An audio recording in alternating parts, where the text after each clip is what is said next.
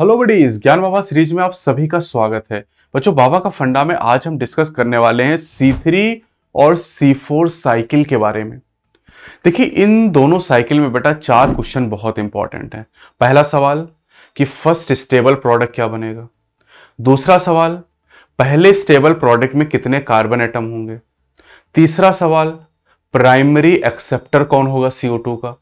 चौथा सवाल primary acceptor में कितने कार्बन एटम होंगे? तो C3 के लिए चार सवाल C4 के लिए चार सवाल, आठ सवाल बनते हैं। बच्चे कंफ्यूज रहते हैं।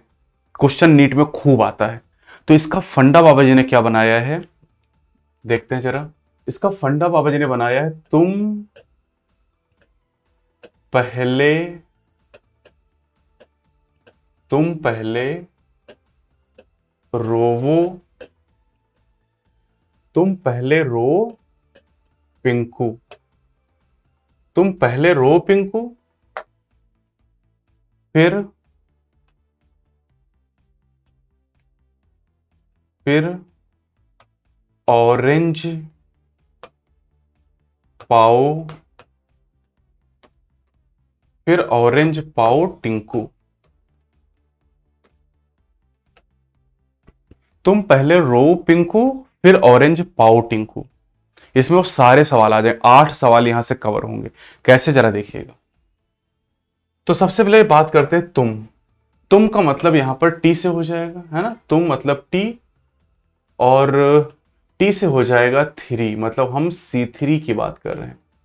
तुम में टी आएगा और टी से हो जाएगा थ्री और फिर फिर का मतलब फोर है ना? फिर हो जाएगा फोर तो सी फोर यानी ऊपर वाला फंडा सी थ्री के लिए और नीचे वाली लाइन सी फोर के लिए, ठीक है? अब, ये जो लिखा है पहला तो ये पहले जो लिखा हुआ है, इसका मतलब है कि पहला स्टेबल प्रोडक्ट तो पहला stable product C three cycle में, जो पहला स्टेबल प्रोडक्ट बनता है बेटा, वो होता है पहले मतलब पी और पी का मतलब क्या हो जाएगा? पहले का मतलब पी रो का मतलब आर पिंकू का मतलब वही बताएँगे, ठीक है? ऑरेंज का मतलब ओ पाओ का मतलब पी और टिंको अभी बताएँगे आप, ठीक है? अब देखो, यहाँ पर बेटा C3 साइकिल में जो पहला स्टेबल प्रोडक्ट है, वो पी से स्टार्ट होगा। दैट इज़ फास्फोग्लिसरिक एसिड और C3 साइकिल का नाम C3 साइकिल है क्यों? क्योंकि फास्फोग्लिसरिक एसिड जो पहला स्टेबल प्रोडक्ट है बेटा, उसमें तीन कार्बन होती तीन कार्बन, इसलिए इसका नाम C3 है।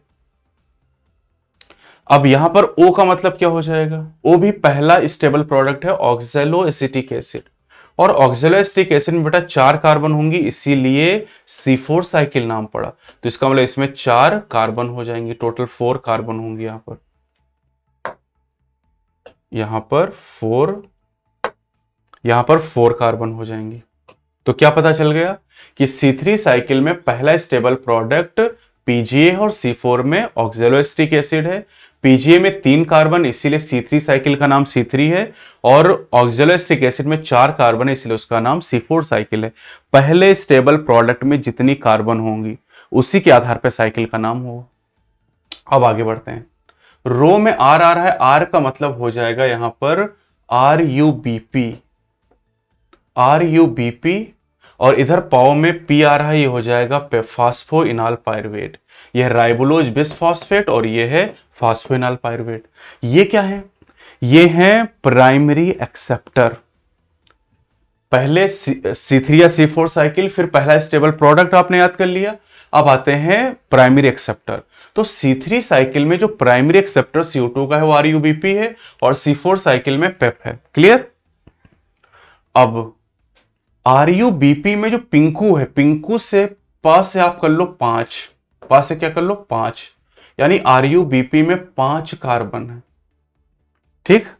और इधर पाओ टिंकू टिंकू की अगर बात करें तो टिंकू टी और टी से हो जाएगा थ्री, टी से क्या हो जाएगा थ्री तो तीन कार्बन फास्फो इनाल पायरवेट में है।